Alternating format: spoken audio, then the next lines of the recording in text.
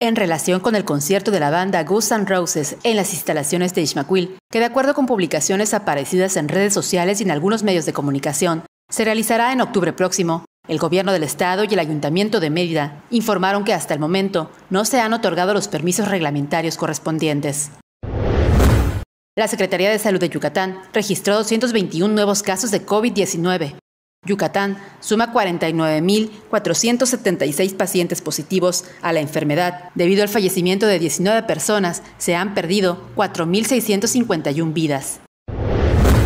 La Organización Panamericana de la Salud reconoció una tendencia de aumento en casos de tres entidades de México, Yucatán, Baja California Sur y la Ciudad de México, donde los jóvenes tienen un rol activo en la transmisión y contagio del virus SARS-CoV-2 que ocasiona la enfermedad del COVID-19. Esta mañana en la conferencia matutina desde Palacio Nacional, el presidente de México, Andrés Manuel López Obrador, advirtió sobre el repunte de contagios de COVID-19 entre los jóvenes. Sin embargo, descartó que haya un incremento en los fallecimientos por la enfermedad gracias al avance en la vacunación en todo el país. Rogelio Gómez Hermosillo, coordinador de Acción Ciudadana frente a la Pobreza, dio a conocer el semáforo de trabajo digno para la región sur-sureste, en Yucatán, solo 186 mil personas reúnen las condiciones mínimas de trabajo formal, 344 mil están desempleadas y 788 mil personas trabajan en condiciones de precariedad, lo que quiere decir que carecen de seguro social e ingresos suficientes para la canasta básica.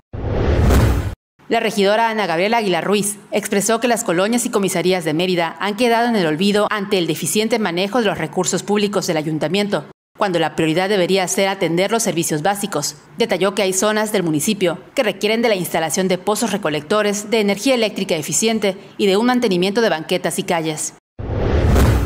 A dos semanas de la ceremonia inaugural de los Juegos Olímpicos el 23 de julio, las infecciones del COVID-19 aumentan en la capital japonesa, señaló el primer ministro japonés Yoshihide Suga. Tras declararse estado de emergencia en Tokio por la variante Delta del coronavirus, se oficializó que los Juegos Olímpicos se celebrarán sin espectadores.